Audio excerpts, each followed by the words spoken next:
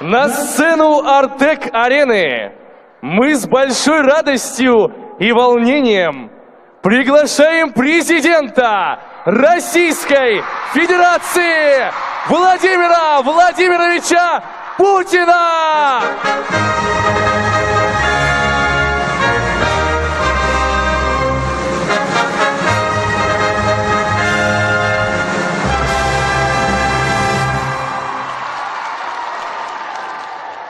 Здравствуйте, ребята! Поздравляю вас с началом новой седьмой смены в Артеке. Вы уже знаете, что Артек создавался с 1900, далекого 1925 года. И с тех пор он создавался как международный лагерь, куда приезжали дети не только из бывшего Советского Союза, из всех республик бывшего Советского Союза, но и из-за границы. И сегодня возрождающийся Артек, он переживал недавно достаточно сложные времена, но сейчас он возрождается, и возрождается именно, именно как международный лагерь. Сюда всегда приезжали самые лучшие и из нашей страны, и из-за рубежа. Я знаю, что вас здесь учат главному, учат дружить. И я вас призываю именно к этому. Откуда бы ни приезжали ваши сверстники, вы всегда должны знать, что это ваши друзья. Артек многому дает, многое дает. Он учит жить, он учит приобретать новые знания. И мне бы очень хотелось, чтобы эти знания, эти навыки и это высокое звание артековец, дружба, которую вы здесь приобретете – сопровождала вас всю вашу жизнь. Поздравляю вас!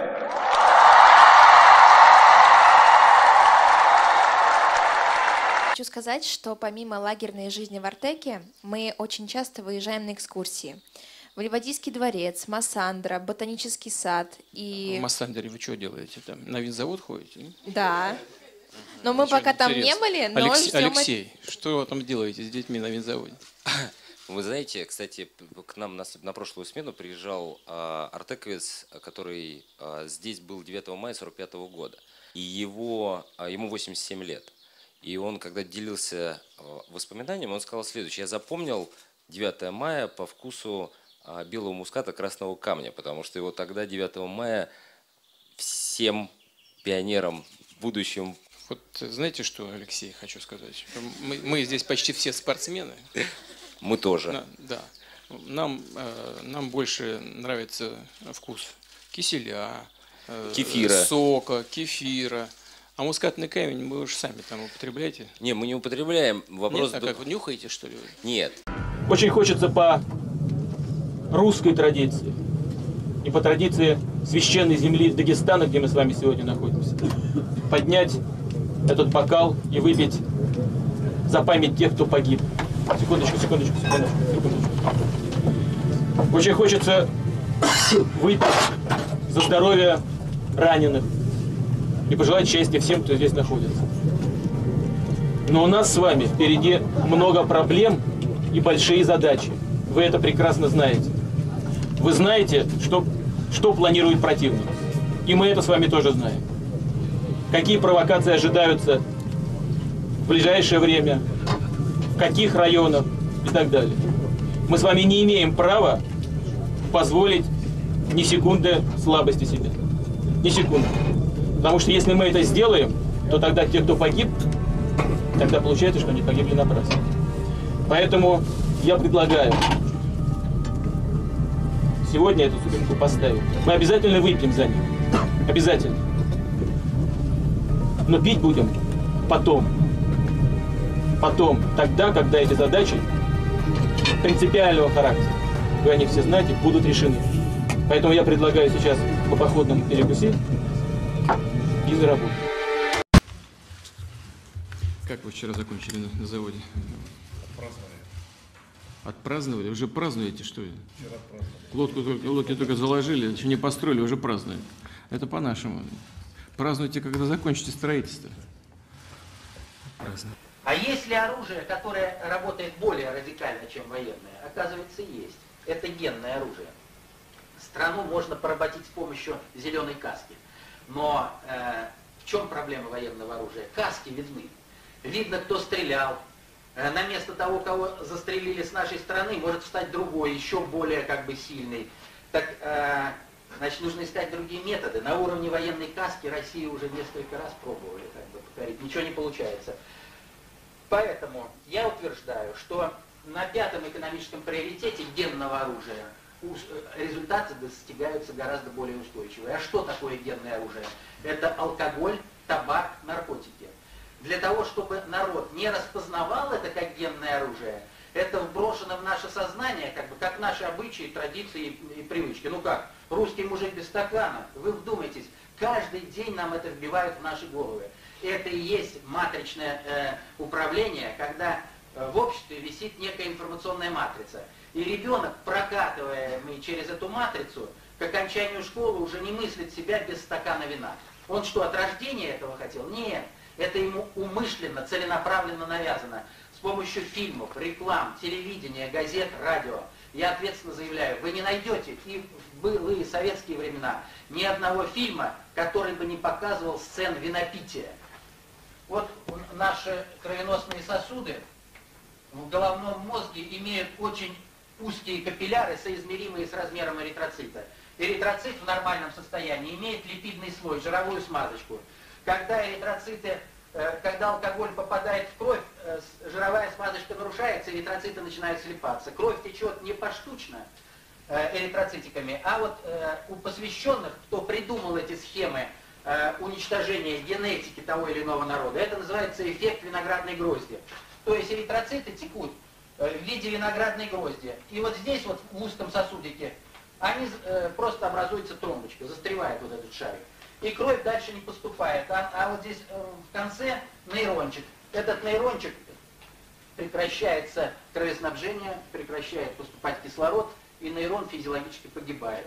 Вот эта гибель нейрона, когда клетки атрофируются и погибают, и воспринимаются человеком в качестве безобидного состояния опьянения в нашей системе, почему я вот белой завистью завидую тем, вот вам, молодым, кто сейчас э, входит в жизнь и способен понять и освоить эту информацию, у вас все изменится в вашей родовой генетике, в вашей жизни, если вы поймете вот эти примитивные элементарные вещи.